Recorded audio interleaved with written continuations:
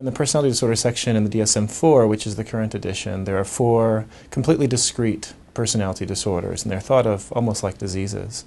So there's sets of symptoms um, which quantify whether or not a person has a disorder or not. Personality just doesn't work that way. It's not the case that you either have a certain personality or not.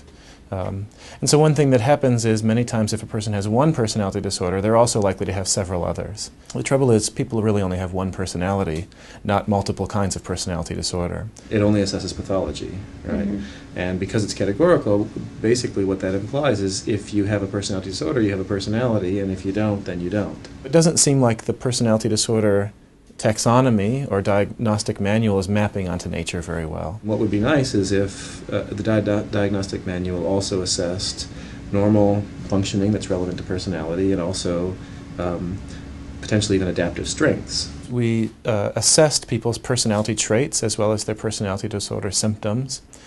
Um, in order to try to find a better structure for categorizing personality-related problems. The first thing that we found, which was important, was that if you just add up all of the different symptoms of personality disorder as one single number, that single number tends to be strongly predictive of other things, like how well people are doing in terms of their functioning. It tells us the overall severity of a person's problems. The proposed model for the DSM-5 has a very similar scale, which is rated on five points.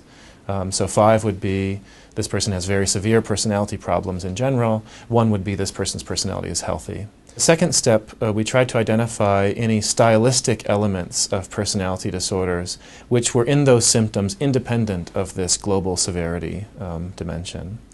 And what we found is five dimensions in the personality disorder symptoms that don't connote um, how severe a person's overall personality is, but rather the flavor or style of their pathological expression.